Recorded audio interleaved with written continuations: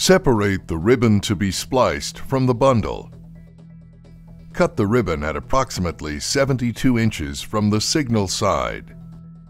Route the cut ribbon through a transportation tube or spiral wrap and secure one end to the central core tube with electrical or other approved tape, and then the other end to the router.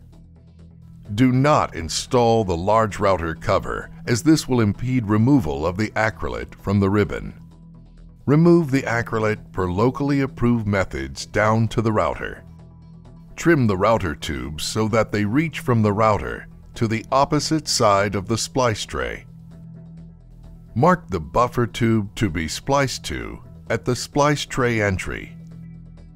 Place the trimmed tubes over the router fingers.